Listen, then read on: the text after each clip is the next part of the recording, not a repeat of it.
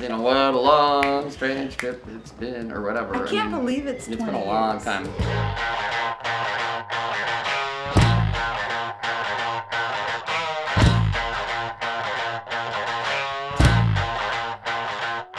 This is people who are within the community who get to sing about what they want to sing about. Even those of us who can't sing a, a note uh, think we can. You know, when we really think back at starting this 20 years ago, it was a long fucking Didn't you time want to have a band like the Monkees?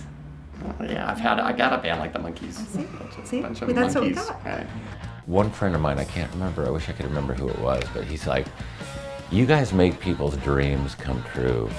There's so many times when I look out and go, I keep forgetting this is a Monday night. The people are acting this crazy. I know who doesn't sing with us are people who are terribly shy That's me. I'm, I'm working out stage fright. and who have not had any cocktails. This is the best karaoke I've ever played, the most fun and the most exciting. I think everybody should have the experience of singing with a live band.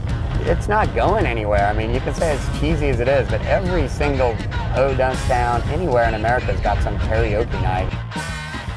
That's the best drug ever is, you know, audience, you know. It's, well, it's exhilarating, you know, and you can't get that with the machine that you get at home through your TV, and you can't get that through your computer. It is different from singing karaoke with the machine. I think it's vastly superior to that experience. It has always been and, and it always will be um, about fun and goofiness. It's a blast. The shows are a blast. If you don't have a band, which not everybody has a band, well, you got like one it. on Mondays and Thursdays, you know. You know, In we're, in Portland, everybody yeah, has a we're, band. we're your band. You are a rock star for that five minutes. I mean, I had water tonight and I am like, hi, and freaking out right now. I did it. My first contest. I, I'm so happy. It doesn't get any better than karaoke from hell.